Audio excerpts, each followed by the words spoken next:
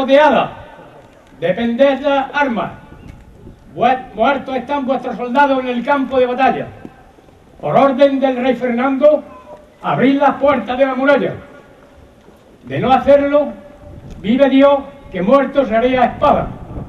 Yo, Juan de Zúñiga, caballero de Santiago, pongo a Dios por testigo y esta advertencia os hago. Rendido ante Fernando, señor que ya es de Toledo, abrid las puertas de la villa y partí hacia el destierro.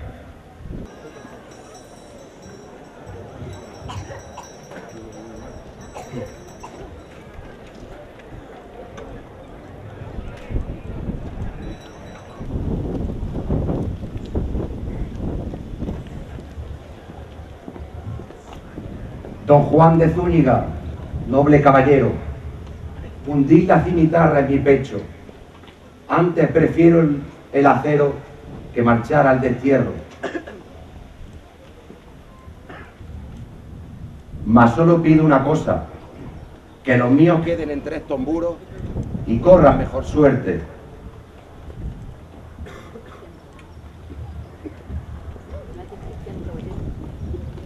No es de cristiano, caballero, matar a quien rendido se haya. Pues la sangre del enemigo hay que ganarla en la batalla. Esta tierra fue vuestra, en ella podéis quedar. Que el rey Fernando ha dado la orden y yo la tengo que respetar. Mas no olvidéis que soy vencido y que sabiote ya de la cristiandad. Así lo haré, señor de Zúñiga, noble caballero don Juan. La cruz vio vuestros pasos, así lo quiso Alá.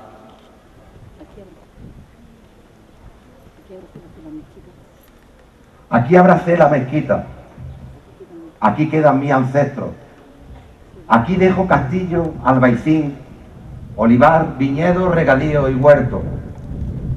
Respetados serán los vuestros, mas no así la mezquita, que entre sus muros alzaremos Santa María y en cada rincón una ermita. Os hago entrega de las llaves, pero antes quiero deciros que si a bien os he de acompañar a enseñarle estos muros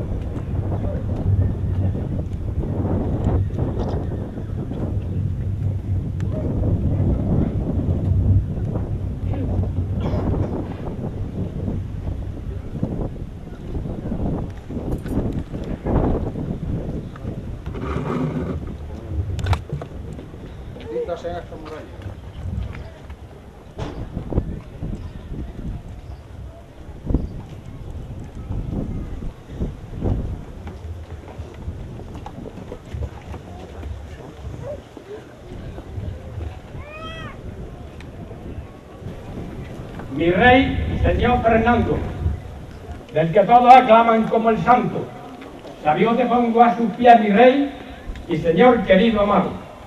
Mi fiel Juan de Zúñiga, noble y esforzado soldado, brazo fuerte y poderoso, el que Dios te ha dado.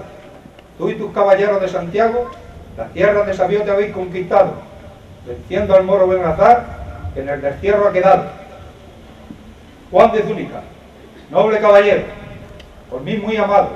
Tú serás el alcalde del castillo y Sabiote por ti será gobernado. Te quedarás en esta tierra y los defenderás, del infierno. Yo seguiré en mi campaña hacia el reino moro de Jaime. Señor, el pueblo de Sabiote está en las calles furioso, esperando que entre en ellas, pues es un día muy dichoso. Que así sea. Monten tropas a caballo, Suenen cornetas y tambores. Entremos en la cristiana villa, levantando estandartes y pendones. Yo, Fernando, rey de Castilla, tenido como santo tercero, inauguro esta villa, las quintas fiestas del medievo, en honor a Santa María, Nuestra Señora de la Estrella, que ha de guiar nuestros pasos hacia una nueva empresa. Pueblo de Sabiote, nobles caballeros, alzad vuestras voces al cielo, gritad conmigo, ¡Viva la Virgen de la Estrella! ¡Viva! ¡Viva la fiesta del medievo! ¡Viva!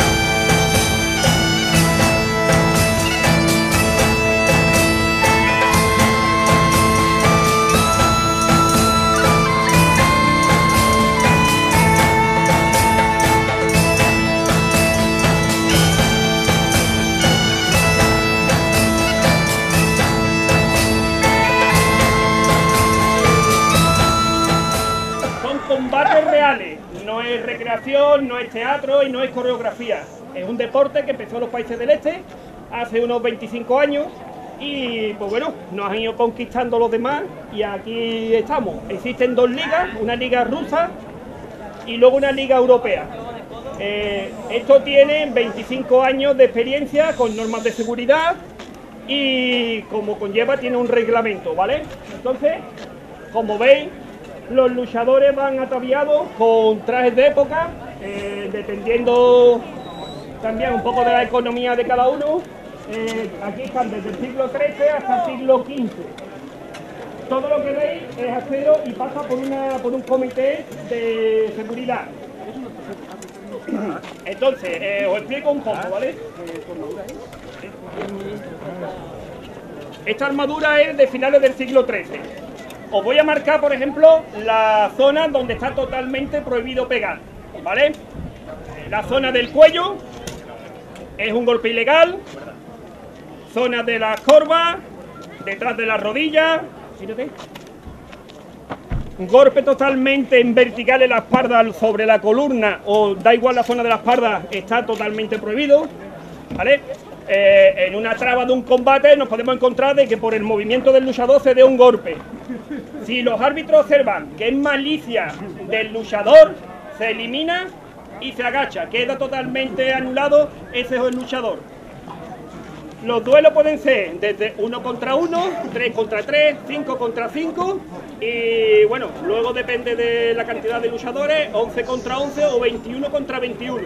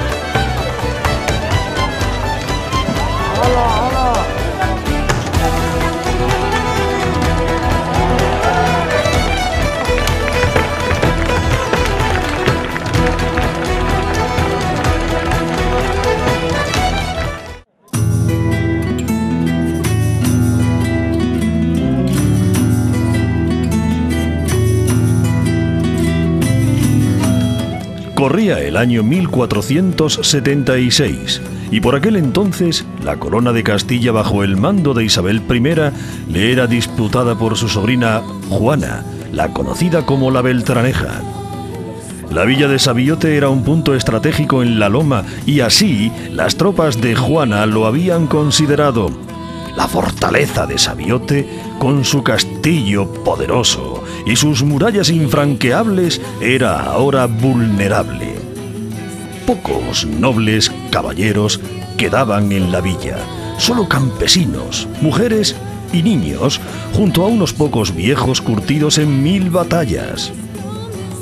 La víspera de San Juan, el 23 de junio, a lo lejos se divisó la llegada de un ejército con no muy buenas intenciones. Se trataba de tropas portuguesas leales a la Beltraneja, comandadas por Enrique de Figueredo. Se dio la voz de alarma y los campesinos, artesanos y gentes que vivían extramuros se refugiaron en la fortaleza.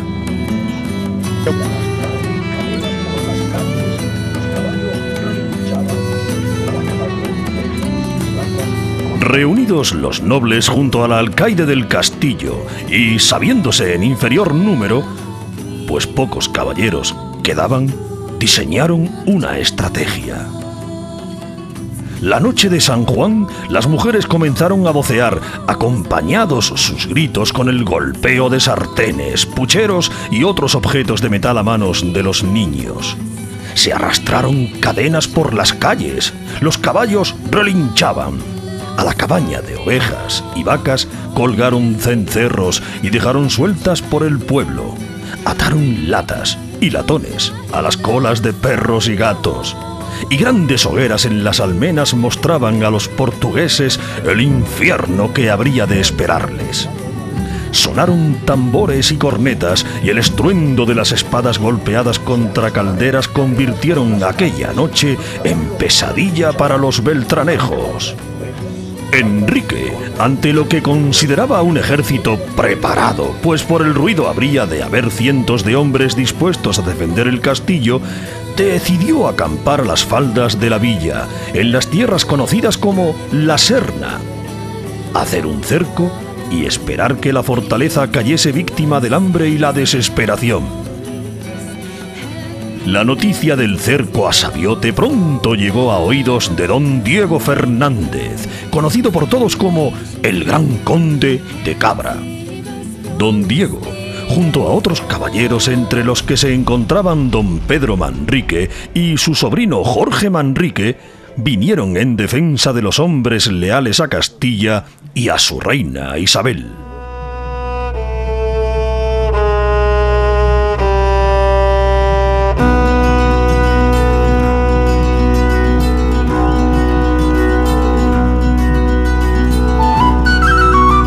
Y así las tierras de la Serna, las que sembradas eran de trigo y cebada, se convirtieron en campo de batalla.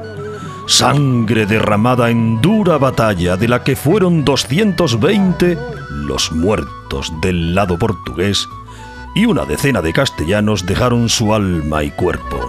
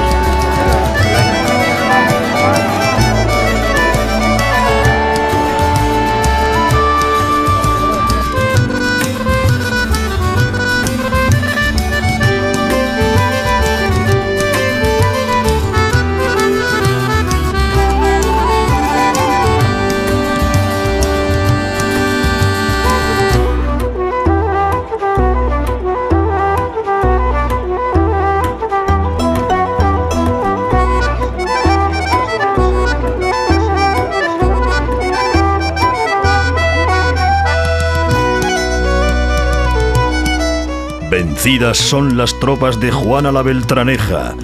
Preso llevan a Figueredo que junto a los suyos han de pagar el atrevimiento. Preparadas son las mazmorras del castillo para acoger al portugués y dar escarmiento.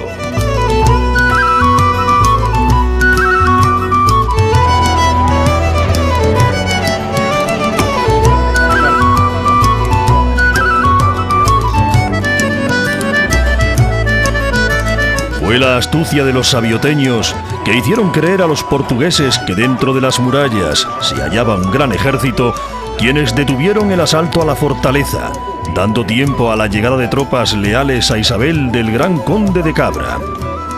Para conmemorar aquella argucia, la noche de San Juan, hasta no hace mucho tiempo, los niños arrastraban por las calles latas, latones, sartenes, ollas, pucheros viejos y todo tipo de objetos de metal.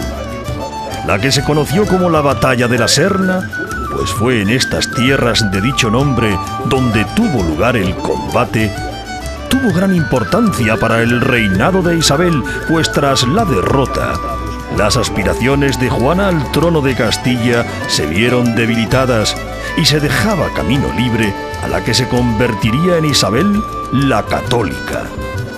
Años más tarde, Isabel supo agradecer al pueblo de Sabiote su lealtad, visitando y morando en la muy noble y leal villa. Los hechos acontecidos de tan gran hazaña fueron cantados por juglares y recogidos en el romance conocido como La Batalla de la Serna.